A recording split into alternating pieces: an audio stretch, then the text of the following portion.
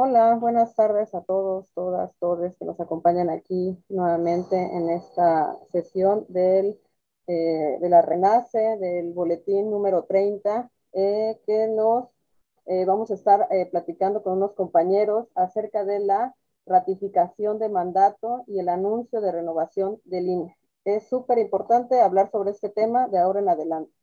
Pues continuamos, compañeros, compañeras.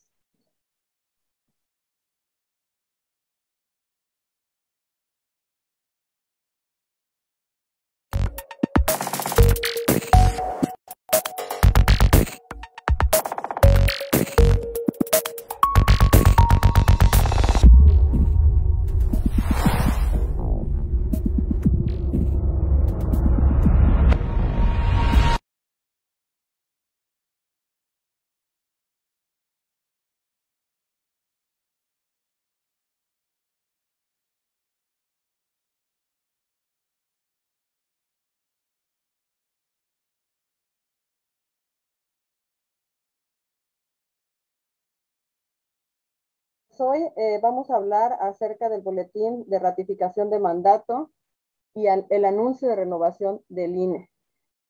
Eh, voy a dar lectura al boletín para que sepamos de qué, de qué va. Bueno, el presidente de México, Andrés Manuel López Obrador, anunció en su conferencia de prensa matutina que después del 10 de abril va a presentar una iniciativa de reforma electoral donde se contempla una renovación del Instituto Nacional Electoral, así como la elección de consejeros electorales y magistrados del Tribunal Electoral del Poder, Judicial de la Federación, mediante el voto ciudadano. Se propone también recordar el presupuesto al INE en la mitad para pasar de 20 mil, de 20 mil millones a 10 mil millones de pesos, o sea, la mitad. También se contempla federalizar las votaciones para evitar las duplicidades con los organismos estatales y así reducir las prerrogativas a los partidos políticos. AMLO va a proponer que el Ejecutivo, cumpliendo con ese perfil, haga una propuesta de 20 candidatos, es decir, 10 mujeres y 10 hombres. Asimismo, el Poder Judicial también igual el legislativo. Por tanto, serían en total 60. Y a difundir quiénes son a qué se han dedicado y que de ahí salgan los que van a estar en el Consejo Electoral. El que tenga más votos de todos será el presidente.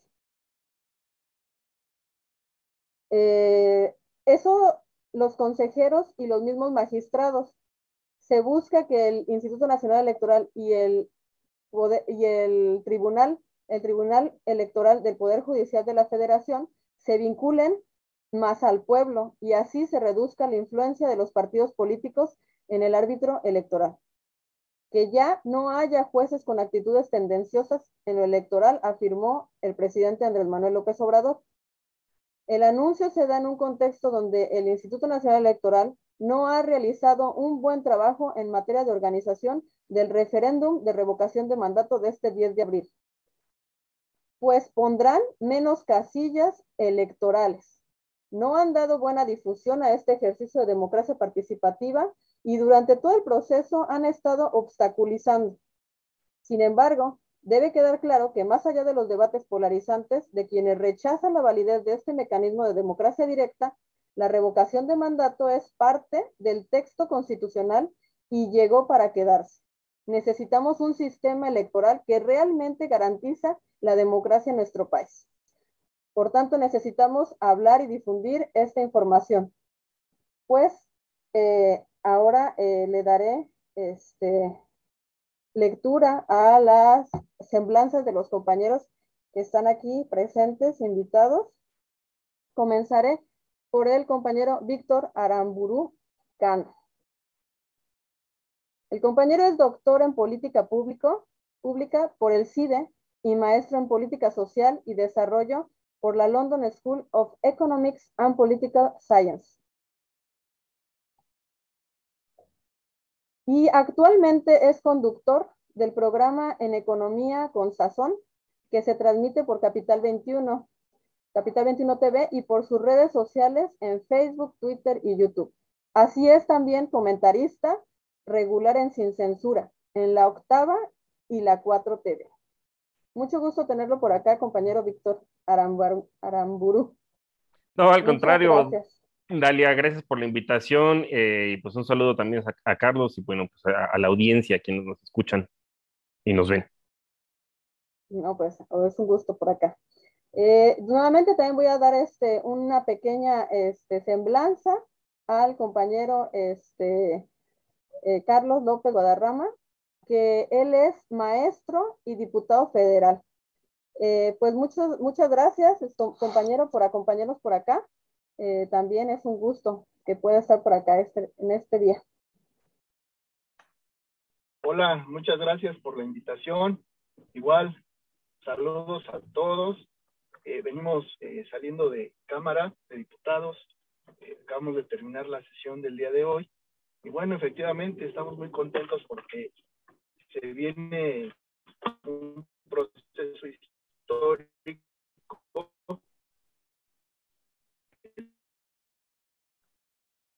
Creo que está teniendo un poco de dificultades.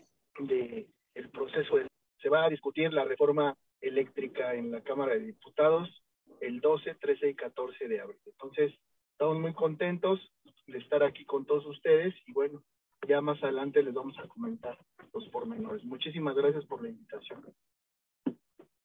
No, el gusto es de nosotros poder compartir aquí espacio.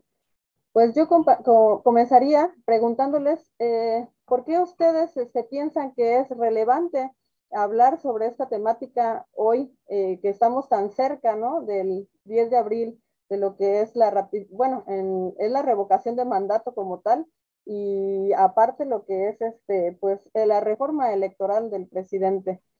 Si gustas darnos tu comentario, compañero Víctor.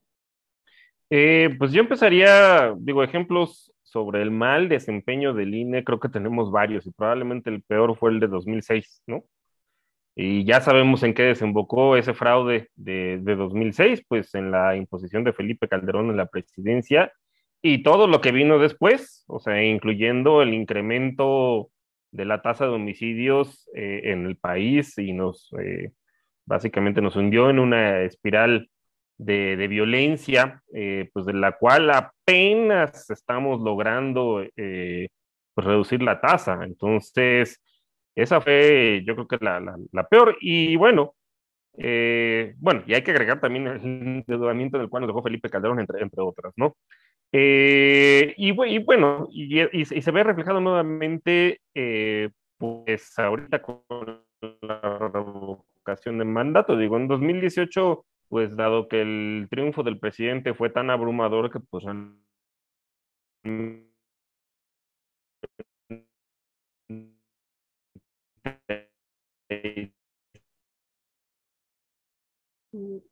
Estamos teniendo un poco de dificultades técnicas. ¿Perdón? Eh, estamos teniendo un poco de fallas técnicas, ya, ya lo oímos nuevamente, compañero. Ah, ok. E, en el 2006, pues también estuvo el tema, eh, pues del desempeño del Tribunal Electoral, que finalmente, pues también ratificó este fraude. Y bueno, pues la más reciente es el, pues el, el, el hecho de que el INE se niega a, la, a los ejercicios de democracia directa, ¿no? Y de democracia participativa, su negocio está en la democracia representativa, es decir, en la democracia indirecta. Entonces, pues no les hace mucho desagrado. Eso por una parte, ¿no? Y por otro lado, pues está el tema de la eficiencia, eh, pues que es bien caro, básicamente, ¿no? O sea, hay que ver también, vuelvo a lo mismo, a los sueldos de Ciro Murayama, de Lorenzo Córdoba, que andan por los 170 mil pesos mensuales ya netos, ¿no? Porque además en brutos todavía son mayores más los bonos, este, aguinaldos, etcétera, que reciben, pues es algo muy caro. Y hay que agregar también el costo de las elecciones en México, que bueno, eh, o sea, esto de vivirnos la permanentemente en elecciones, ¿no? Que, cada año hay, eh, pues implica un, una duplicación, justamente como dice el, boletín, de estructuras en los organismos locales. Eh, o sea, hay, consejeros ¿no? locales que forman parte ya de, del INE pero pues también todo lo que implica la organización, el dinero que se le tiene que dar a los partidos para sus actividades, vamos, ahí se pueden lograr muchos, muchos ahorros. Y ahora, el tema también es, pues, ¿qué se puede hacer con esos ahorros? Finalmente, pues, se pueden traducir en mayores apoyos, en mayores, eh, pues, en incremento quizá de pensiones, o en incremento en la cobertura de las pensiones, o de las becas, o, eh, pues, en carreteras rurales, ¿no? En caminos rurales, etcétera. O sea, en, hay cualquier cantidad de necesidades que creo yo que tienen mucho mejor uso que, pues, en los sueldos y, este, y en los privilegios y en las superficialidades tanto de Ciro como de, como de, Lorenzo, ¿no? Y bueno, digo, esos son los, digamos, las cabezas más visibles, pero también los magistrados del Tribunal Electoral ganan un, buen billete y incluso diría que su desempeño probablemente está peor, ¿no? Hay que recordar cómo estuvo hace, un año o hace un par de años, entre, entre hace dos y hace un año, pues que no se ponían de acuerdo ni entre ellos, y eso que pertenecen al mismo grupo, eh, para ver quién iba a ocupar la presidencia, o sea, digo, con un espectáculo ahí bastante, eh, dejando mucho que desear. Eh, eso, eso lo diría por la parte del INE, este, pues que sí, efectivamente puede haber ahorros y puede haber eficiencia. Y pues finalmente también, digo, y este es un tema que es histórico, desde el primer INE, IFE, que cuando se crea el órgano autónomo después de la reforma del 94, pues que fue muy vanagloriado, porque pues su desempeño finalmente no fue malo, ¿no? Fue el, el, finalmente hubo, fueron los primeros que reconocieron las elecciones, digamos, relativamente limpias, las del 97 y luego la alternancia de Vicente Fox. Pero siempre se ha querido vender como que son consejeros ciudadanos. Y vamos, digo, ahorita con el comportamiento de, Ciro Murayama, pues ya es más que evidente, ¿no? O sea, a este señor seguramente lo vamos a ver de candidato en 2024, si es que, porque va a necesitar el fuero, eh, pero de alguno de los partidos del PRIAND, ¿no? Igual él siempre fue mucho más afín al PRD, pero pues ya el PRD básicamente es un cascarón entonces, pues una vez lo vamos a ver ahí seguramente del PAN, o bueno, si el PRD llega a tener eh, registro, pues a lo mejor de por ahí.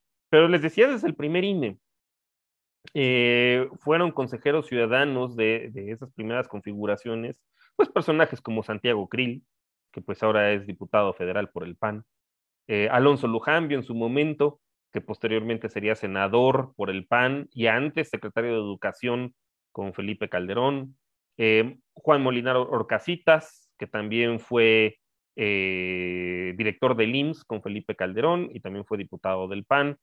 Eh, digo, y también, digo, siendo justos, pues también Jaime Cárdenas, ¿no? Que también fue, fue el director del Instituto Nacional para Devolver al Pueblo Robado.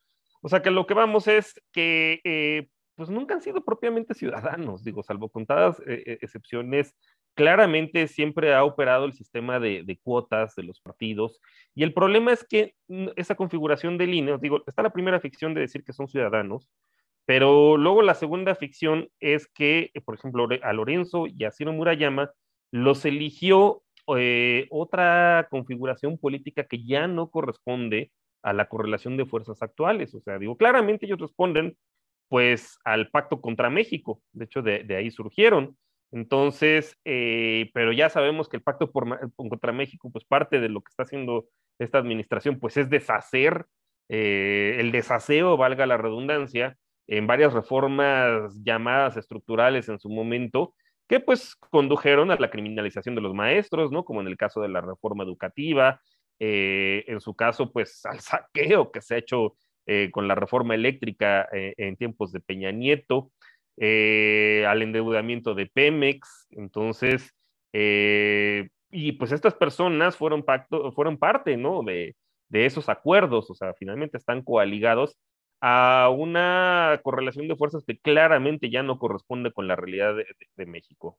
Entonces, yo no necesariamente voy a decir que se vaya a solucionar el problema, ¿no? Este, de si los ciudadanos realmente van a ser, si los consejeros van a ser consejeros ciudadanos o no, pero pues al menos eh, van a corresponder con la correlación de fuerzas que pues vaya cambiando, ¿no? E eventualmente. Entonces, eh, pues es un traje, si lo queremos ver así, que ya le queda chico a México porque México cambió sustancialmente en 2018 y pues estas personas, además de que ganan mucho, este, despilfarran mucho y pues claramente no corresponden eh, a, lo que la realidad mexicana ya busca. Y a lo mejor digo, no sé si dejamos para adelante la, la, otra parte, ¿no? Que tiene que ver con los, los plurinominales, o si quieres que de una vez este, la, la. Si, quieres ahorita este, que nos dé su aporte el compañero este, Carlos, y este, para ir avanzando, porque si no luego se nos acaba el tiempo. Ok, dale. Este, muchas gracias, compañero, este, súper bien este, la idea. Eh, pues, compañero Carlos, si gustas este, darnos tu punto de vista acerca del boletín de de lo que estamos eh, pues teniendo actualmente con el, con el INE, con lo que comentaba el compañero Víctor. Claro que sí, muchas gracias. Pues mira, eh, básicamente me voy a ir un poquito en la cuestión técnica del proceso legislativo, reforzando lo que acaba de mencionar el compañero Víctor. Y bueno, la verdad es que la reforma eh, político-electoral no ha sido todavía enviada a la comisión este, aquí en la Cámara de Diputados. Sin embargo, eh, no por eso quiere decir que no sepamos eh, de qué trata. Eh, básicamente son tres ámbitos, lo comento muy rápido. es primero el ámbito jurisdiccional, perdón, en donde efectivamente no se prevén las en la composición de la estructura del Tribunal Electoral del Poder Judicial de la Federación, eh, por eh, lo que ha comentado el presidente, ¿no? que eh, tienen que ser elegidos por votación universal, reforzando ahí, repito, lo que comenta Víctor. Este, el otro ámbito pues debe de ser organizacional y administrativo, que tiene que ver meramente con el Instituto Nacional Electoral, en donde también tiene que haber una votación eh, universal, directa y secreta, ¿no? Que es en donde eh, muchos estamos de acuerdo, ya que pues eh, siempre ha sido por cuotas de los partidos políticos y eso no genera en ningún momento la equidad y la igualdad en la participación en las elecciones. Y por último, un ámbito muy importante que es el de la, eh, el ámbito de la, de la representación proporcional. Eh, esta representación llamada eh, plurinominales o de representación proporcional también contempla esta reforma de política este, electoral en donde pues, se prevé la disminución de estos diputados y senadores plurinominales, ¿no?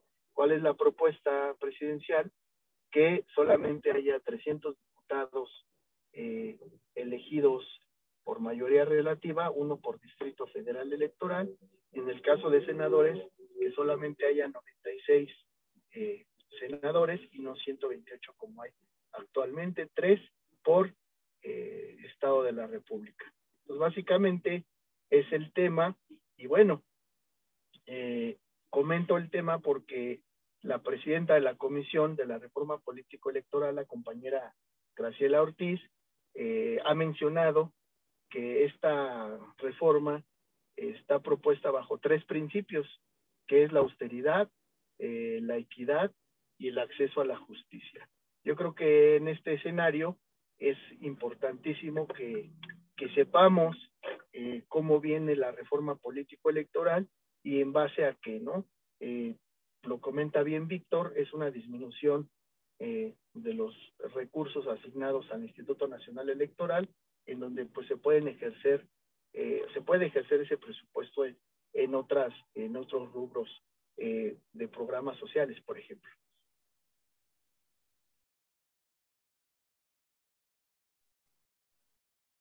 Y cuánto hacen falta, ¿no? Esos recursos realmente para bien, bienestar del pueblo en realidad, ¿no? Y que pues han sido mayormente pues mal usados, este, pues se los han este, robado, ¿no? Se los han quedado este, estos este, diputados, senadores, que no han hecho el trabajo real como debería de ser, pues para, para brindar el beneficio que necesitamos. Entonces creo que, creo que sí es, es importante que este tipo de reformas se lleven a cabo, este, urge eh, porque han sido únicamente cotos de poder eh, que han mantenido, ¿no? Este, ahí, eh, y normalmente pues vemos, como lo que comentaba el compañero Víctor, que se, se pliegan este, este tipo de consejeros al, pues a la derecha, ¿no? A la oposición, y ahorita pues se ve que no estamos este, teniendo la difusión que quisiéramos, ¿no? ahorita en lo que es la revocación de mandato, ¿Por qué? Pues porque hacen ese tipo de, actitudes, ¿no? Que, son convenientes a la, derecha, ¿no? No al, gobierno que es actualmente y que van a, estar eh, difamando y diciendo que no, que están este, en contra de la, de la democracia en nuestro país, ¿no? Cuando ellos son los antidemócratas, cuando ellos están este, negando la publicidad eh, adecuada, ¿no? Para que salga eh, pues en todos los medios, donde han estado reduciendo las casillas, ¿no? Actualmente, que seguramente van a ser menos y van a quedar muy lejanas este, a las comunidades este, rurales, donde la idea es de que no puedan llegar a, a votar la mayor cantidad de personas, ¿no? Entonces creo que es importantísimo que estemos hablando sobre estas temáticas para que veamos que la reforma electoral que se viene, pues es algo que también van de la mano, pues que eh, el, reducir los costos eh, es para que en realidad no se esté haciendo un gasto sin, sin razón alguna, ¿no? Igual lo que comentabas de los pluris, ¿no? Que es eh, reducir también, pues no tienen este, totalmente el eh, pues el sentido de que haya tantos no se ha manejado adecuadamente como debería, al igual que la duplicidad que se ha manejado, ¿no? Y se busca federalizar en este caso, este, a partir de ahora, eh, para que no, no haya pues gasto, dispendio sin, sin razón. Pues no sé si gusta comentar algo el compañero Víctor acerca de los plurinacionales que, que comentaba. Sí, este, nada más un tema de ahí, o sea que a lo mejor es un poco teórico, pero bueno, nada más, o sea, no, no, ¿por, qué, por, qué 90, ¿por qué 96 y no 128? Eh, se supone que, la, lógica del Senado es representar a las entidades federativas. O sea, dado que somos una federación, entonces pues a cada entidad federativa le tocan tres senadores, dos que son electos por el principio de mayoría y uno a la primera minoría. Digo, también para que no, no se queden sin representación. Pero luego cuando vemos, ¿y los otros 32 de dónde salen, no? Pues ahí, ahí salen los 96, ¿y de dónde salen los otros 32? Pues de los partidos. Y, entonces, ¿cuál es la lógica? Si, si, tenemos un órgano que supone que debe representar a los estados y, a la Ciudad de México, ¿por qué se van a representar también los partidos? O sea, ahí sí no hay argumento, ¿no? O sea, como tal, eh, no, no, no tiene lógica, o sea, porque finalmente digo, sí, los partidos están reconocidos en la Constitución, pero no son parte de la federación. Entonces, claramente ahí, hay un área de oportunidad, ¿no? Este, donde se pueden reducir y que además no tienen ninguna justificación ni jurídica, ni política, ni teórica en tal caso. Y en el caso de los diputados plurinominales, eh, sí tienen, tienen una razón de ser, ¿no? Este, de hecho, si nos vamos a, la historia un poco, pues, de, de, la transición a la democracia en México, que además ha sido larguísima desde los años 70, eh, bueno, pues eh, empezaron con los diputados de partido, porque pues anteriormente en los 70 la izquierda estaba ilegalizada, el Partido Comunista. Entonces, pero a partir de la reforma que se hace en los años 70, finales de los años 70, pues se incorporan estas, estos, eh, estos diputados y pues posteriormente se van incrementando, aunque si lo vemos pues ya en ejercicios de reproducir la representación, pues en realidad no son necesarios tener 200 diputados plurinominales, de hecho más o menos con 100 queda exactamente, queda, queda, no exactamente, pero queda muy parecida a la configuración de la actual Cámara, Cámara de Diputados. Entonces, pues tener 100 o tener 200, pues da lo mismo, y entonces, pues, ¿para qué pagarle 100, este, 100, 100 diputados extras si de todas maneras el resultado en términos de representación no se pierde? ¿no? En, en, ese sentido. Y finalmente, bueno, hay que recordar también qué tipo de personas pasan a los plurinominales. Digo, hay que analizar ahí simplemente este, pues no diría flora, pero más fauna, ¿no? Y fauna, hasta cierto punto nociva, que pues logran, son las cúpulas de los partidos finalmente. Ahora sí que lo peor de lo, peor, porque ni siquiera es que representen a, las personas que viven en, los territorios, ¿no? Sino en general, pues son eh, los, pues digo, ahorita que se vengan personajes, Miguel Ángel Mancera, este, que ya lo padecimos aquí en la Ciudad de México, senador plurinominal, Xochitl Galvez, ¿no? La, la, la, senadora de los Legos, también es, es, es, plurinominal. Entonces, o sea, normalmente ahí colocan a la gente que necesita fuero porque pues va a ser perseguida por, por, las cosas que hicieron anteriormente, ¿no? Y que tienen deudas con la justicia, o pues son ahora sí que los machuchones los que, los que entran por ahí. Digo, estoy, no estoy diciendo que necesariamente se tengan que llevar a cero en el caso de los diputados, en el caso del Senado sí, no tienen razón de ser, pero este, pues también hay que ir acotando el poder de los partidos y particularmente a las cúpulas de los partidos, ¿no? Este, y particularmente para que no pasen este tipo de gente que pues en realidad no se representan más que pues probablemente hay una, una oligarquía incluyendo a, a, la, a las de los partidos. Entonces, eh, digo, también sin dejar de representar a ciertas minorías, que pues siempre va a ser deseable, evidentemente, eh, pero pues ya sabemos que no se representan más que a sí mismos y además se pueden obtener ahorros, o sea que siento yo, habría que preguntarle a la, pues, me imagino que el, compañero diputado lo ha visto, pues que también la Cámara de Diputados tiene otro tipo de necesidades, ¿no? Quizá a lo mejor centros más especializados de investigación que puedan servir eh, pues para la toma de decisiones o vínculos con sus propios eh, electores, pues creo que eso es algo muy necesario que no se ha tenido, pues porque eh, pues se gasta este presupuesto en eh, diputados que no necesariamente representan a nadie más que a las cúpulas de sus partidos o pues a ciertas oligarquías. Ya ese sería mi comentario. Cierto, muy cierto lo que dices, compañero. Este, pues yo creo que también eh, depende, ¿no? De las personas que se elijan, que deben de ser personas íntegras, honorables, ¿no? Que de verdad este, lleven a cabo esta congruencia de honestidad día a día, ¿no? Que estén personas con esa cabalidad en esos, en esos órganos, porque pues es, de eso depende nuestra democracia en el país, desgraciadamente, ¿no? Vemos que se inclina normalmente hacia otra, hacia otra balanza, ¿no? De conveniencia y pues el pueblo que necesitamos este, cada vez un poco más de, de, democracia, eh, pues no, no nos la brinda, ¿no? Está a cuenta gotas, ¿no? Y, y, ahora que vemos que es lo, lo, que es la revocación de mandato, eh, pues dicen este tipo, cierto tipo de mentiras, ¿no? Que, que es solo, solamente para imponerse, ¿no? Por el ego del compañero presidente, ¿no?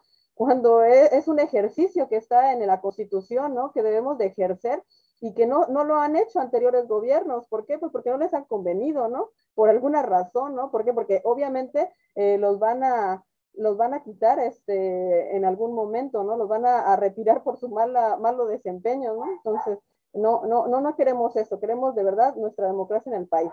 Este, le voy a ceder este, la palabra nuevamente a su compañero Carlos, este, por si gusta dar algún comentario, compañero, acerca de, lo que estamos hablando. Sí, muchísimas gracias. Eh, nada más igual, reforzando el tema de los ahorros, pues nada más un dato, la legislatura pasada, la 64, por primera vez en la historia de la Cámara de Diputados, se terminaron los privilegios terminaron los privilegios y hubo un acuerdo de los diferentes grupos parlamentarios donde renunciaron al seguro de gastos médicos mayores, a los vales de despensa, a los vales de gasolina, de apoyo para este, teléfonos celulares, el mismo seguro de vida que lamentablemente pues, eh, afectó a quienes eh, perdieron la vida por COVID, en el caso muy propio pues de mi señor padre, que bueno, representó una verdadera austeridad en la Cámara de Diputados, en donde se ahorraron cerca de 1.500 millones de pesos por año. Entonces, es un claro ejemplo de que con austeridad la Cámara funciona bien y en esta 65 legislatura pues se ha reforzado el tema de la austeridad republicana, aunque a muchos diputados de otros grupos parlamentarios no les guste el, el, el, esquema de la austeridad republicana, pues se han ajustado, ¿no? Entonces yo creo que sí hay eh, algunos gastos innecesarios que se pueden eh, evitar. Bueno, pues ahí finalmente eh, comentarte, este, comentarles a todos que pues bueno, la verdad es que la comisión de reforma político electoral, pues lo que pretende es darle esa pauta al ciudadano para que vuelva a creer también en las instituciones, ¿no? Eh, el INE, todos sabemos, eh, se caracterizó o se viralizó el tema por el fraude electoral en 2006 y que no hizo nada en la elección del 2012 a pesar de que fue muchísimas aportaciones de pruebas de la compra masiva de votos por parte de, Peña Nieto. Entonces yo creo que eh, es un buen ejercicio, la reforma político-electoral va a ayudar a que haya más credibilidad en las instituciones, pero también se le da la oportunidad a los partidos políticos de que puedan eh, recuperar la confianza del ciudadano, indistintamente de la votación, si es izquierda, derecha, centro o, o como se denomina.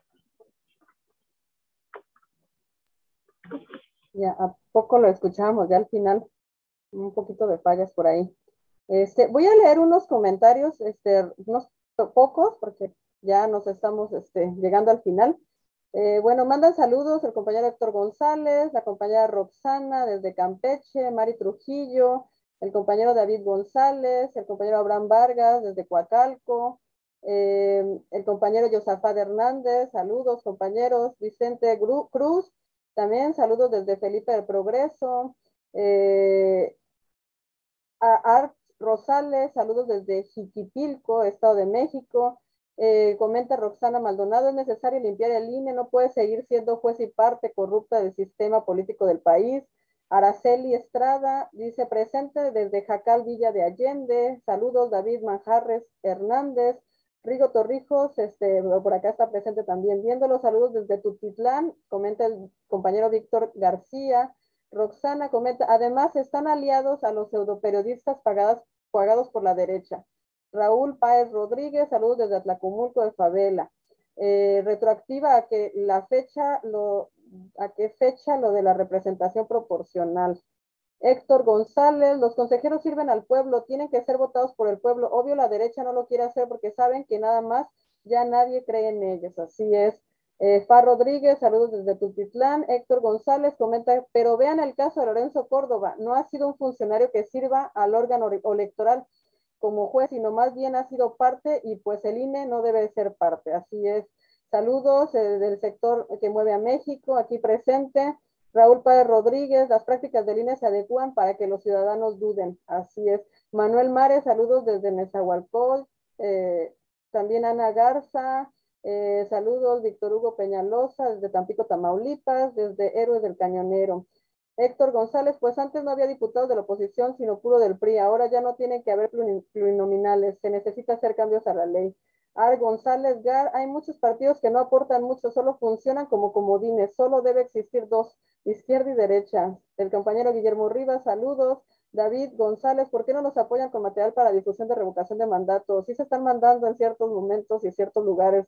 Ivonne Peñalosa, saludos. Gloria Cruz, saludos de Chimalhuacán. Esther Morales, saludos desde Iztapaluca, Estado de México. Pues eso es lo que tenemos ahorita de comentarios, compañeros, y pues ya vamos a ir casi, casi cerrando. No sé si quieran dar alguna eh, conclusión, eh, algún comentario final, compañeros. Este compañero Víctor, si gusta, y termina con este dando sus redes sociales, por favor. Ok, eh, pues bueno, yo les invito a participar en la jornada del 10, ¿no? Es muy, muy importante. Digo, ya sabemos pues que cómo va, cuál va a ser el resultado de la votación, no hay ningún problema en ese sentido, obviamente pues se va a ratificar el mandato, pero es un ejercicio de educación cívica. Eh, hay que irnos acostumbrando a que este instrumento existe. Imagínense que hubiera existido en tiempos de Peña Nieto, lo hubiéramos sacado, o sea, sin ningún problema, y nos hubiéramos ahorrado cualquier cantidad de robos y dispendios que pasaron en la segunda, bueno, pasaron desde el principio de su mandato, pero digamos que la parte eh, segunda, o sea, hay que aprender que la legitimidad de los, de, pues de los representantes que van desde el presidente hasta los diputados eh, y, bueno, y regidores, eh, pues hay una legitimidad de origen por ganar las urnas, pero también hay una de ejercicio. Entonces, si a alguien le quedó, pues chico, el, el saco, ¿no? Como tal, del puesto, pues para afuera y que entren mejor alguien que sí esté dispuesto a trabajar y, y pues no necesariamente a robar. Entonces, o sea, este ejercicio es de educación cívica, de irnos acostumbrando a la no solamente a la democracia representativa, sino también a la democracia participativa. Y bueno, pues también los invito a ver, hago promoción del programa. Eh, pasa los martes, de hecho hoy vamos a hablar acerca del caso Yotzinapa, hablando de los medios hegemónicos que precisamente no le han dado difusión a las revelaciones eh, pues que hubo lamentables bastante de la semana pasada. Vamos a hablar de ello. Pasa por Capital 21, el canal de aquí de la Ciudad de México, a las 10 de la noche, pero igual lo pueden ver por las redes sociales, por YouTube. Si lo buscan con el hashtag Economía con Sazón, lo pueden encontrar también en Facebook, en Economía con Sazón, así directamente, o en Twitter, que ahí sí es arroba Economía Sazón, sin el con. Ahí, ahí lo, pueden encontrar. Y bueno, a mí me encuentran como arroba B de Víctor, o sea, nada más la V, Aramburu Cano, mis dos apellidos juntos y con la B de Víctor. Y pues muchas gracias por la invitación eh, y pues un, gusto eh, conocerlos a, ambos, a Carlos y a Dalia. No, un gusto también por acá, este, a nosotros nos da eh, Víctor, este, muchas gracias por haber estado por acá presente, todo su conocimiento vertido por aquí es súper importante. Eh, también, eh, pues compañero Carlos Guadarrama, si nos puede dar alguna conclusión, sus redes finalmente también. Claro que sí, muchas gracias. Pues antes que nada, agradecerles la invitación. Yo sé que hay temas que se deben de profundizar para dar mayor información. Estaría este, bien hacer este ejercicio eh, más seguido. Digo, yo sé que ustedes lo hacen cada ocho días, pero si nos en una próxima ocasión, porque hay muchos temas importantes, ¿no? Víctor.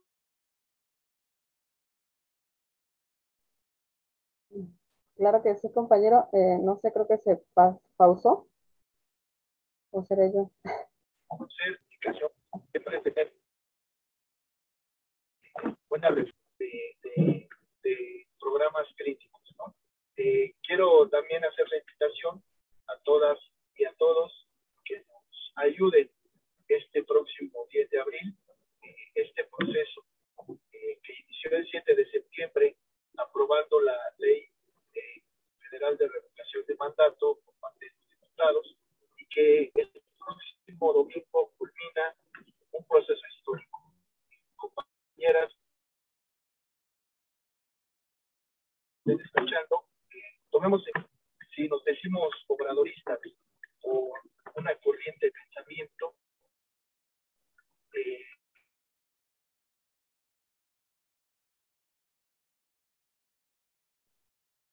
Recordemos que es la última vez. Ya, ya lo escuchamos, compañero. Sí, sí, sí, lo escuchamos. Gracias. Recordemos que es la última vez que vamos a ver el nombre del presidente en una boleta electoral.